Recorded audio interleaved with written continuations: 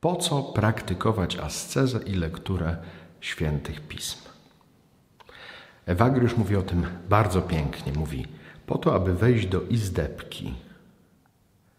Do izdebki, w której można ujrzeć przenajświętszego Ojca, który jest w ukryciu.